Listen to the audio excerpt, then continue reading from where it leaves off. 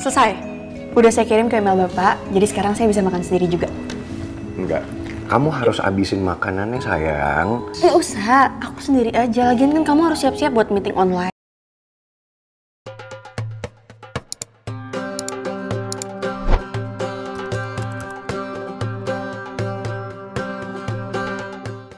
Lagi.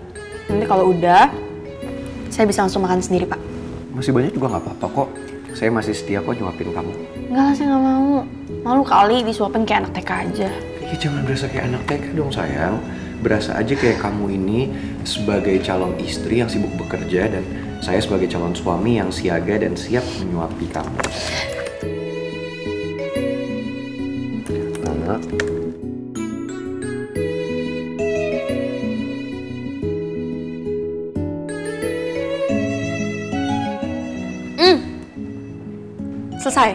Udah saya kirim ke email Bapak, jadi sekarang saya bisa makan sendiri juga.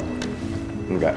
Kamu harus abisin makanannya sayang. Nggak usah, aku sendiri aja. Lagian kan kamu harus siap-siap buat meeting online. Sini. Udah saya suapin aja ya. Ah. Hmm. Kenyang.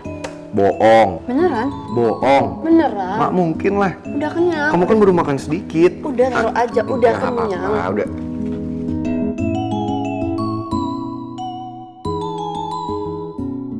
Ngerjain saya ya? Bener-bener ya udah sini. Usah. Saya suapin lagi. Nggak usah. Nggak apa-apa udah saya suapin usah. lagi. Atau terpaksa saya bikin Nggak, pengumuman ya ke semua orang ya. Gak usah.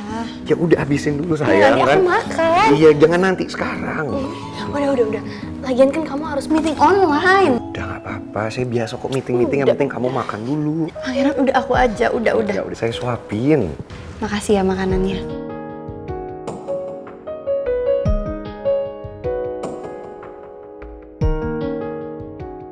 Aku berharap ada laki-laki yang mencintai aku.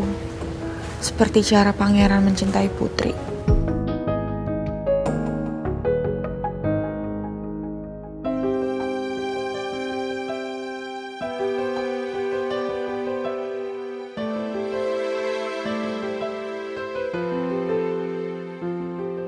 Kenapa sikap Tristan jadi gini ya? Tristan kelihatan jaga jarak sama aku.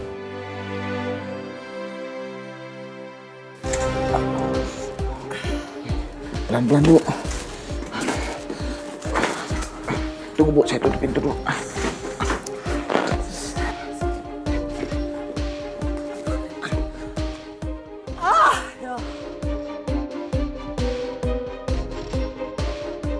Lega rasanya bisa kembali ke kehidupan mewahku.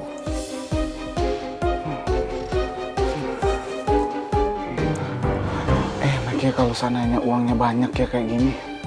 Mau beli apa aja, tinggal. Aduh, Kalau ada uang tuh semua beres lagi. Luka dan sakit hati saya di masa lalu yang membuat saya bertekad sampai ada di sini saat ini. terus rencana Bu Lisa apa nih? Kan semua orang udah tahu bahwa Bu Lisa dan saya itu udah is dead. Terus kalau tiba-tiba muncul, aduh Bu, bisa ketangkep polisi Bu kita Bu. Ini Bu, aku ada ide bagus nih Bu. Gimana kalau Bu Lisa pura-pura gentayangan Bu, nakutin Bu Nawang? Emang saya bodoh apa? Ide kamu tuh loh, nggak banget Lim. Kan mereka tahu is dead Bu. Saya cuma kasih usul ke Ibu. Udah tenang aja. Selama ada uang, saya bisa atur semuanya.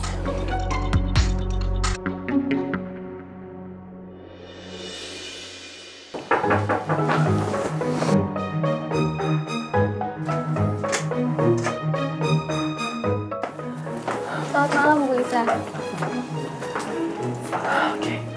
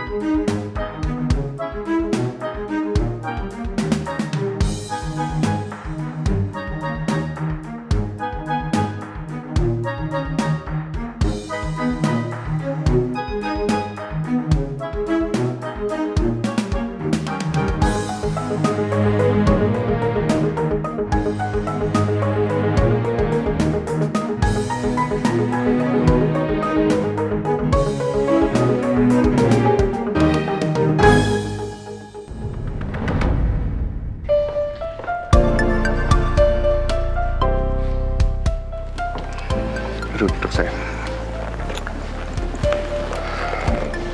Mimi, hei, dengerin Pipi. Bukannya Pipi ngelarang Mimi untuk nyetir sendiri, tapi kan Mimi belum lancar sama sekali. Pakai supir dulu ya sayang ya. Pi, jujur Mimi trauma banget pakai supir. Mimi tuh nggak mau kejadian Salim sampai terulang lagi. Tapi Mimi, Mimi kan udah bisa nyetir sendiri. Eh, Pipi boleh dong bawa mobil. Iya iya iya Mimi tahu. Mimi parkirnya masih berantakan ya. Ya Mimi kan tinggal diajarin lagi sama Jojo. Jojo kan bisa ngajarin Pi. Ya kan Jo? Siap Bu Sumi, siap. Beres pokoknya. Ya kan Pi? Ya. Pipi ngedukung kan. Mimi tuh cuma mandiri maunya Pi. Jadi nggak perlu ngerepotin orang lain. Pipi ngasih dong Mimi bawa mobil sendiri. iya, Makasih ya Pi. iya. Pak Bos, Bu Bos Mimi itu cuma pengen dimengerti Pak Bos. Bener kan Bu? Jangan nimbrung kamu kayak sutet. Tadi Mimi udah ketemu orang WO. Dan mereka itu nawarin eh, beberapa paket juga konsep tunangan buat Putri sama Pangeran. Bagus-bagus deh, Pi. Dan Mimi nggak sabar banget untuk ngasih tahu ke Putri sama Pangeran. Mereka pasti suka.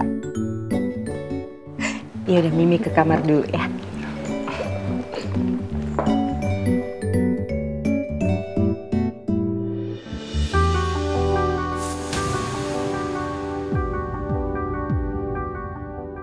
Lega rasanya melihat Mimi kembali ceria dan semangat seperti dulu. Sepertinya Mimi juga udah nggak khawatir soal hasil tes DNA dia di Singapura. Karena Putri udah meyakinkan Mimi. Kalau mereka ibu dan anak. Kata pangeran hasil tes DNA itu akan keluar besok. Mudah-mudahan hasilnya sesuai harapan. Kamu harus janji sama aku soal satu hal. Janji. Janji kayak gimana sayang? Ya janji, kalau kamu nggak akan perlakuin aku kayak tadi di kantor. Maksud kamu perlakuin kayak tadi? Ya nyuapin aku lah di kantor dan diliatin sama semua karyawan yang lain. Ya emangnya kenapa sayang? Mereka semua gak ada yang komplain, malah mereka pikir itu romantis. Ya tetap aja, aku kan sebenarnya malu. Kan aku bukan anak TK juga. Siapa juga sih yang bilang kamu anak TK? Malah lucu tahu. So sweet.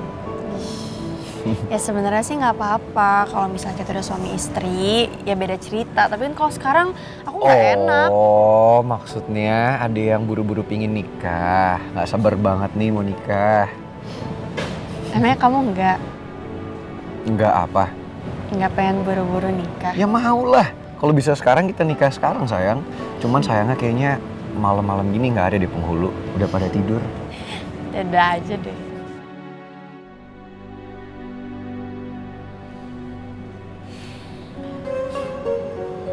Sebenarnya aku deg-degan tahu. Nungguin hasil tes DNA dari Singapura besok. Kenapa harus deg-degan sayang? Apa pun hasilnya, itu nggak akan merubah satu hal kan? Bahwa kamu sama Ibu Nawang itu tetap ibu dan anak. Nggak akan ada yang bisa merubah itu.